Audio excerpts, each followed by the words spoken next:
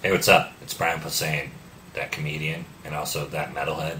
Anyway, I'm sitting here in my nerd cave, and I just got this amazing new box set from Slayer, The most metal band of all time, and they just released the most metal box set of all time, the Vinyl Conflict.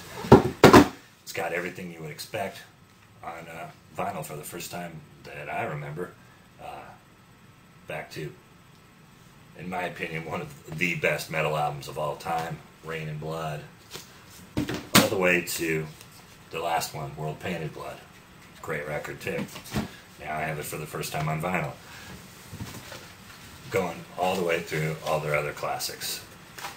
All the stuff they did for Def American. One of the greatest live records.